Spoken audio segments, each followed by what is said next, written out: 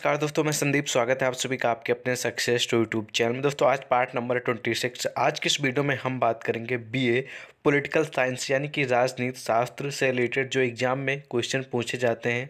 तो आज की इस वीडियो में इसी से रिलेटेड सारे क्वेश्चन वीडियो में मैंने इंक्लूड किए हैं। तो प्लीज़ वीडियो को पूरा देखते रहिएगा। ये video P A first year second year third year तीनों ईयर के छात्रों के लिए इंपॉर्टेंट है। और ये सारे क्वेश्चन जो आज की इस वीडियो में आपको मैं बताने वाला हूँ आंसर सहित, ये पिछले कई सालों में कई बार रिपीट भी हुए हैं और आने वाले आपके एग्ज़ाम के लिए काफ़ी इंपॉर्टेंट एंड हेल्पफुल होने वाले हैं। तो प्लीज़ वीडियो को पूरा देखते रहिएगा, जिससे आप लोगों को सही से जानकारी मिल सके कि किस प्रकार के क्वेश्चन आते हैं। और किस तरह के क्वेश्चन पूछे जाते हैं। तो ये सारी जानकारी के लिए आपको वीडियो को पूरा देखना होगा।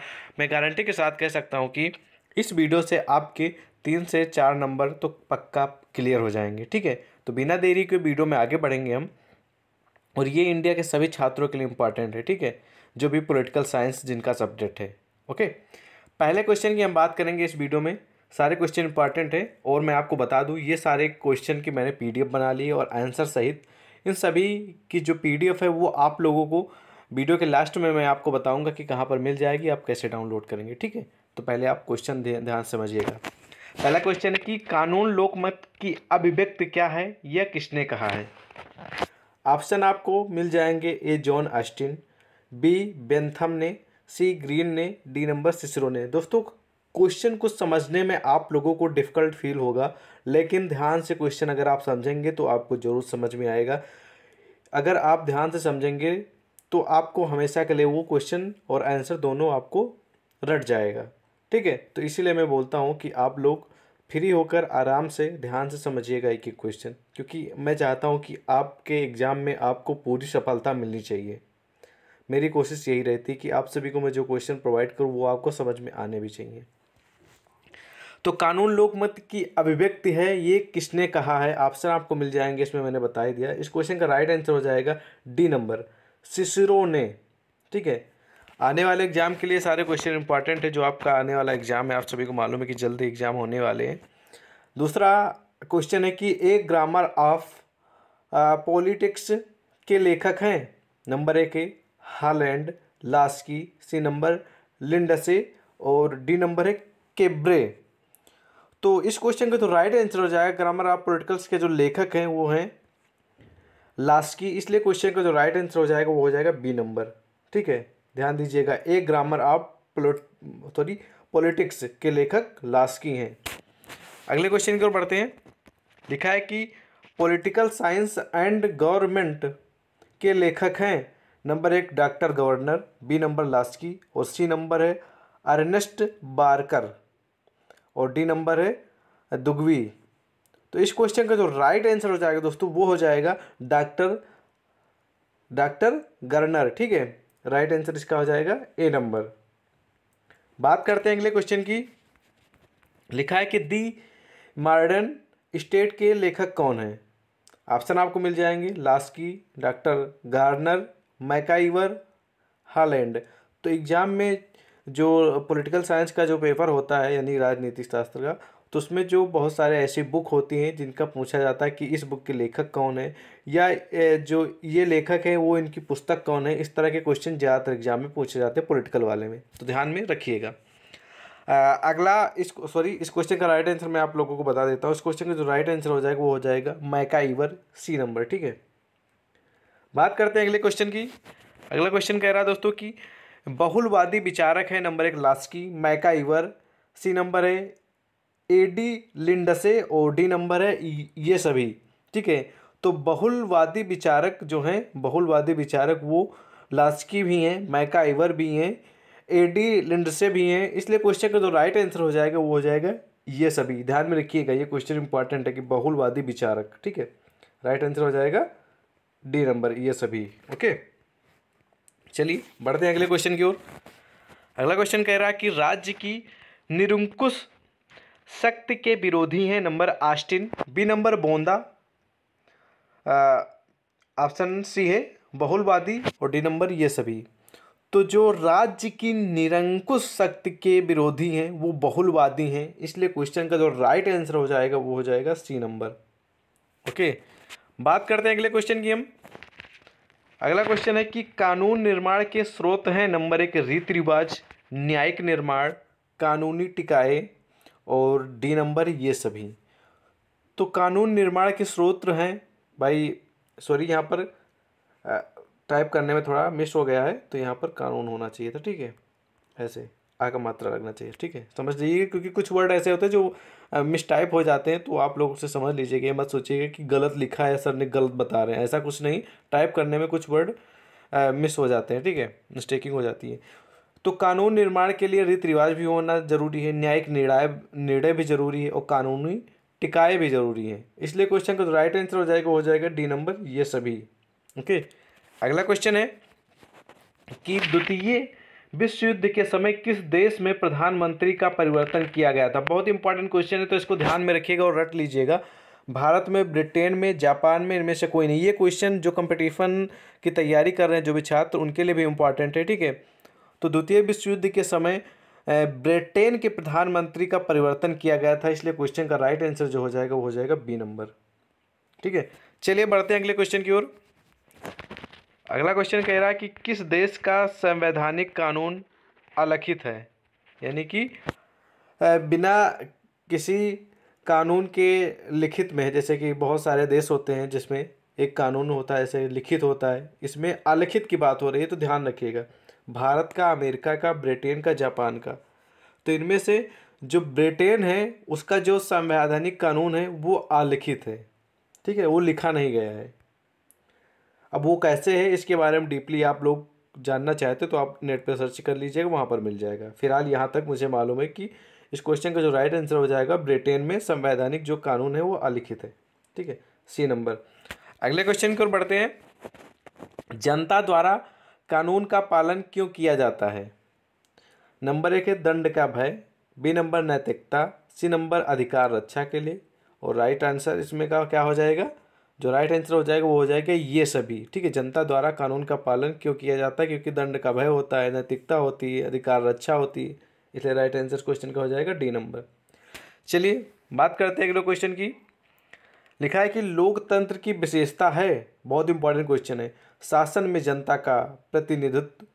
बी नंबर जनता के हितों की रक्षा। सी नंबर प्रतिनिधि जनता के प्रति उत्तरदायी। और डी नंबर उपयुक्त में से सभी।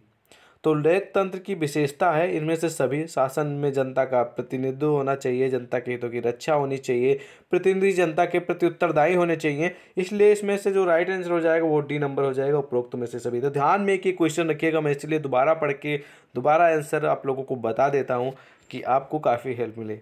चलिए बढ़ते हैं अगले क्वेश्चन की ओर। अगला क्वेश्चन लिखा है कि अब्राहम लिंकन कौन थे? फिर फ़िल्म अभिनेता बी नंबर अमेरिकी राष्ट्रपति सी नंबर ब्रिटिश प्रधानमंत्री और डी नंबर है सोवियत नेता। तो जो अब्राहम लिंकन थे, वो अमेरिकी राष्ट्रपति थे, आप सभी को मालूम ही है। इसलिए क्वेश्चन का जो राइट आंसर हो जाएगा, वो हो जाएगा बी नंबर ठीक है? राइट आंसर बी नंबर हो जाएगा। चलिए बढ़ते हैं अगले क्वेश्चन की ओर। अगला क्वेश्चन कह रहा है कि प्रत्यक्ष प्रजातंत्र का सबसे उपयुक्त नमूना किस देश को माना जाता है? ध्यान दीजिएगा क्वेश्चन पे। प्रत्यक्ष प्रजातंत्र का सबसे उपयुक्त का नमूना किस देश को माना जाता है? ऑप्शन है भारत, ब्रिटेन, स्विट्जरलैंड और लास्ट ऑप्शन है इस क्वेश्चन का श्रीलंका। तो इस क्वेश्चन का राइट आंसर हो जाएगा स्विट्जरलैंड। ठीक है? सी नंबर राइट आंसर हो जाएगा। चलिए बढ़ते हैं अगले क्वेश्चन की ओर। लिखा है कि प्रजातंत्र का स्वरूप है प्रत्यक्ष प्रजातंत्र। आप प्रत्यक्ष प्रजातंत्र सी नंबर ए बी दोनों और डी नंबर में से कोई नहीं। तो इस क्वेश्चन का जो राइट आंसर हो जाएगा दोस्तों, वो हो जाएगा ऑप्शन नंबर सी प्रजातंत्र का स्वरूप प्रत्यक्ष प्रजातंत्र और अप्रत्यक्ष प्रजातंत्र होता है। ठीक है, स्वरूप। राइट आंसर सी नंबर हो जाएगा। बात करते हैं अगले क्वेश्चन की हम। अगला क्वेश्चन है कि बहुमत का शासन होता है राजतंत्र में, लोकतंत्र में, निरंकुश शासन में, इनमें से कोई नहीं। तो इस क्वेश्चन का जो राइट आंसर हो जाएगा, वो हो जाएगा ऑप्शन नंबर बी, लोकतंत्र में, बहुमत का शासन लोकतंत्र में होता है। B, number right answer. चलिए बात करते हैं अगले क्वेश्चन की।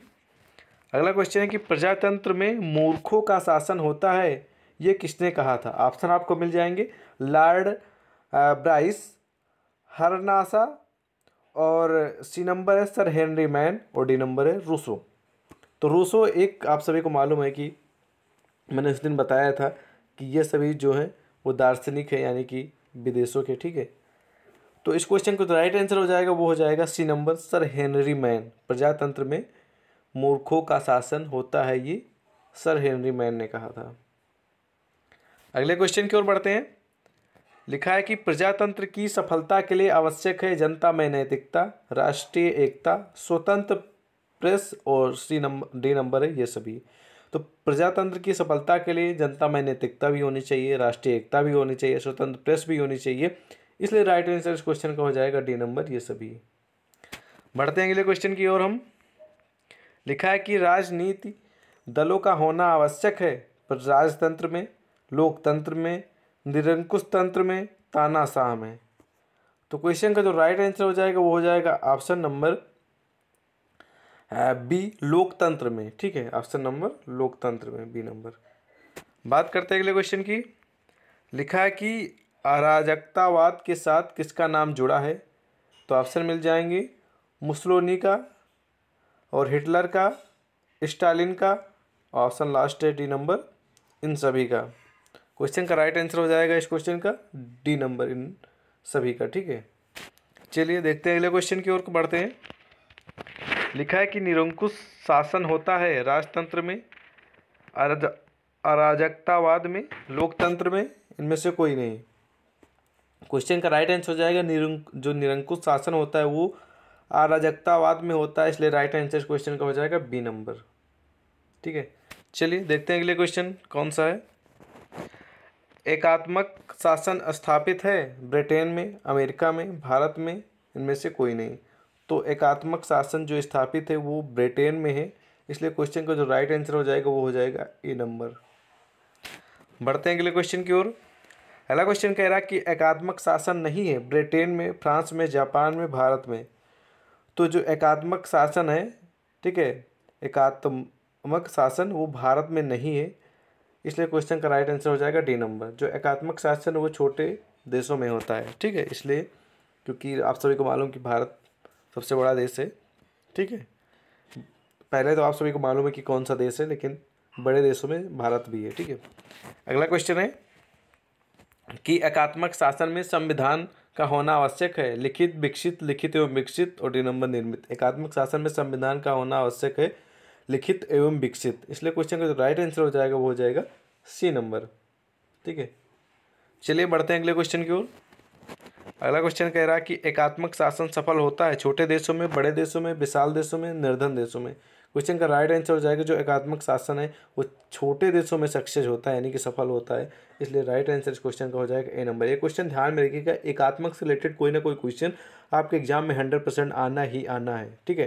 तो ये आप लोग ध्यान में ज़रूर रखिएगा। अगला क्वेश्चन कह रहा है कि एकात्मक शासन में नागरिकों को कौन सी नागरिकता प्राप्त होती है? दोहरी, तेहरी, इकहरी, और डी नंबर में से कोई नहीं। तो एकात्मक शासन में नागरिकों को, जो नागरिकों होते हैं, उनको इकहरी नागरिकता प्राप्त होती है। इसलिए क्वेश्चन का जो राइट आंसर हो जाएगा, वो हो जाएगा ऑप्शन नंबर सी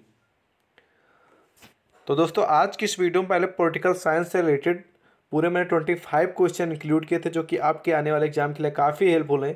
अगर आपको ये वीडियो अच्छी लगी तो लाइक करिए। चैनल पे पहली बार तो सब्सक्राइब करके बेल आइकन प्रेस कर दीजिएगा, जिससे आने वाली और भी वीडियो जो मॉडल क्वेश्चन पेपर आप तक मैं प्रोवाइड करूँ, वो आप तक पहुँच सके। इसलिए ये प्रोसेस कर लीजिएगा, ठीक है? और बात रही इन सभी क्वेश्चन की पीडीएफ की, यानी कि क्वेश्चन जो है, इनका पीडीएफ आंसर सहित आपको वीडियो के डिस्क्रिप्शन में जो टेलीग्राम का लिंक है, उससे ज्वाइन हो जाइए। वहीं पर मैं क्वेश्चन आंसर की पीडीएफ डाल दूँगा तो आप लोग आसानी से डाउनलोड कर लीजिएगा, जिससे आपको इन फ्यूचर पढ़ने में आपको आसानी होगी। आपका कोई क्वेश्चन है, कोई सुझाव तो बेशक कमेंट करके पूछ सकते हैं। हम आपको मिलते हैं नेक्स्ट वीडियो में, तब तक के लिए जय हिंद।